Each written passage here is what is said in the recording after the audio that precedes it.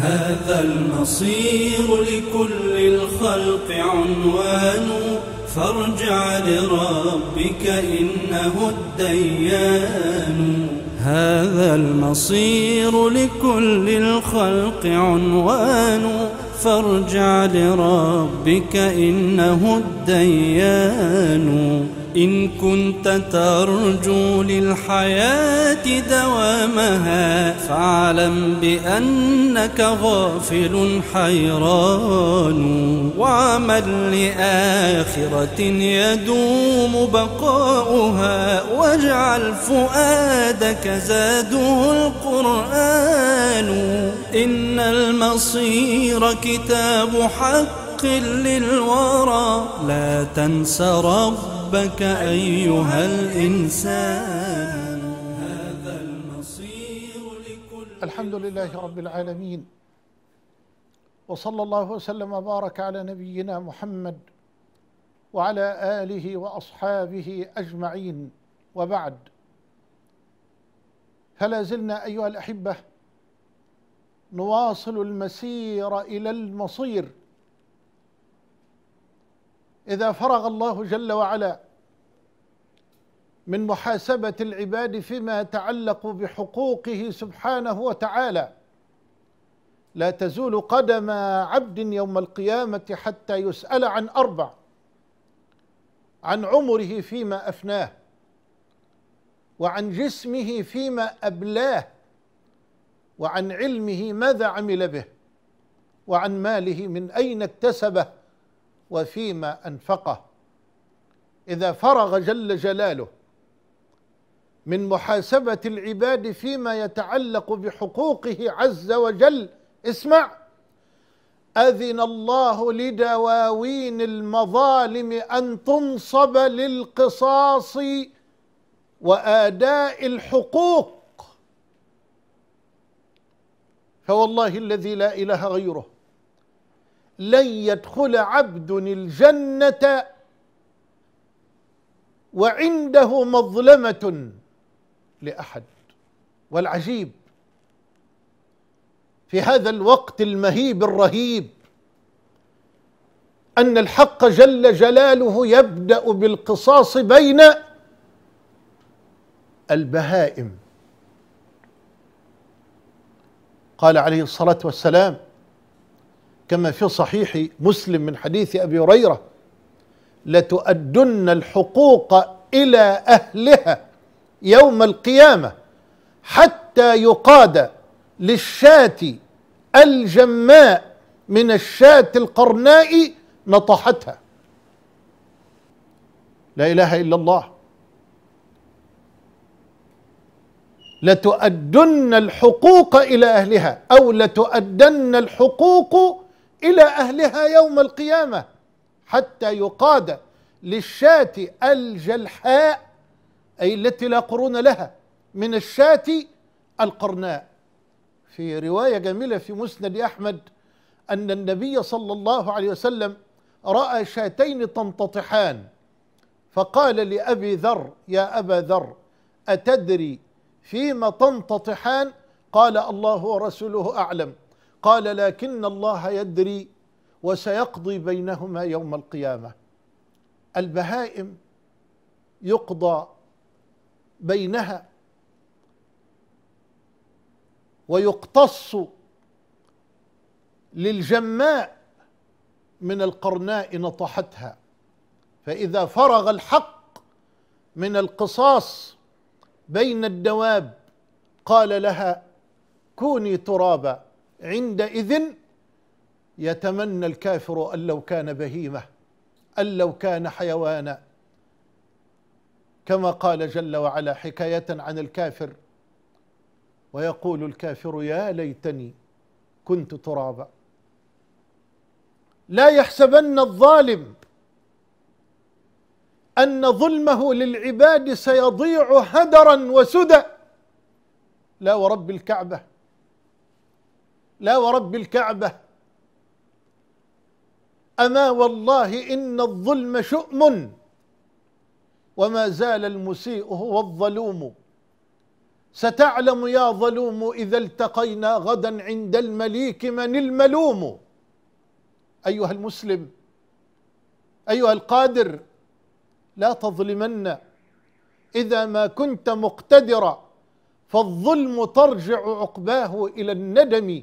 تنام عيناك والمظلوم منتبه يدعو عليك وعين الله لم تنم. وفي الصحيحين من حديث ابن عباس أن النبي صلى الله عليه وسلم لما بعث معاذ بن جبل إلى اليمن قال له يا معاذ اتق دعوة المظلوم اتق دعوة المظلوم فإنه ليس بينها وبين الله حجاب.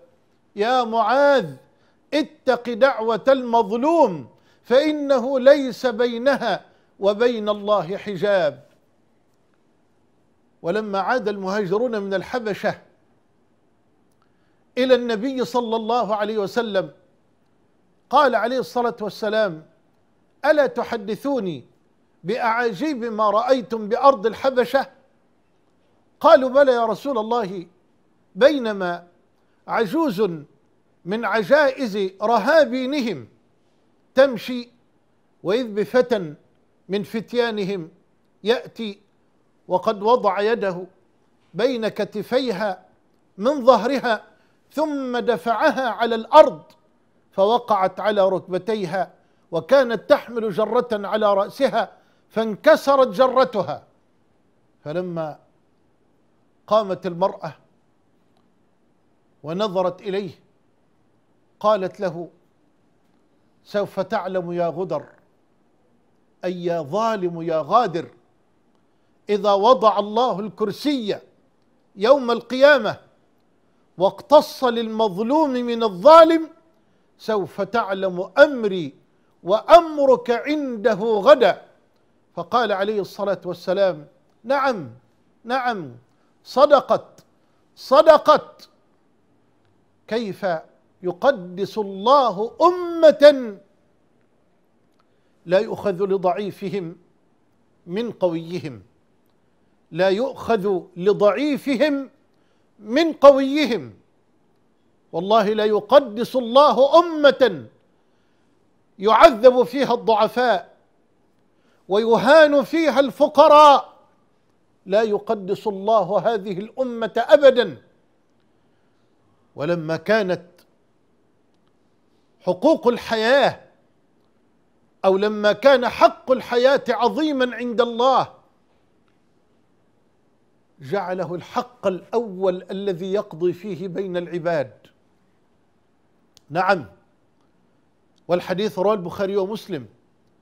من حديث أبي هريرة أنه صلى الله عليه وسلم قال إن أول ما يقضى فيه يوم القيامة في الدماء لابد من القصاص. الدماء لها حرمة. ولا تعارض بين هذا وبين ما ذكرت إن أول ما يحاسب عليه العبد يوم القيامة الصلاة فالصلاة حق الله جل وعلا والدماء حق العباد. الدماء لها حرمة. وقد تكلمت عن هذه الحرمة. فيا أيها المتجرئ على سفك الدماء. ويا أيها المتجرئ على قتل الأبرياء. ويا أيها المتجرئ على ظلم عباد رب الأرض والسماء. احذر واعلم بأنه ورب الكعبة سيقتص منك يوم القيامة. فأنت مفلس. وإن كنت تملك هنا الملايين والمليارات أتدرون من المفلس؟ قالوا من لا درهم له ولا متاع. قال ولكن المفلس من يأتي يوم القيامة بصلاة وصيام وزكاة ويأتي وقد شتم هذا وسب هذا وقذف هذا وأكل مال هذا وسفك دم هذا وقتل هذا فيأخذ هذا من حسناته وهذا من حسناته. فإن فنيت حسناته قبل أن يقضى ما عليه أخذ من سيئات من ظلمهم ثم طرحت عليه ثم طرح في النار. ولا حول ولا قوة إلا بالله. الأمر عظيم. الأمر عظيم. والقصاص لا بد منه. حتى بين المؤمنين. هذا ما نتعرف عليه إن شاء الله جل وعلا في اللقاء المقبل. وصلى الله وسلم وبارك على نبينا محمد وعلى آله وصحبه وسلم. والسلام عليكم ورحمة الله وبركاته. هذا المصير لكل الخلق عنوان. فارجع لربك إنه الديان. هذا المصير لكل الخلق عنوان. فارجع لربك إنه الديان. إن كنت ترجو للحياة دوامها فاعلم بأنك غافل حيران. وعمل لآخرة يدوم بقاؤها. واجعل فؤادك زاده القرآن. إن المصير كتاب حق للورى. لا تنس ربك أيها الإنسان. هذا المصير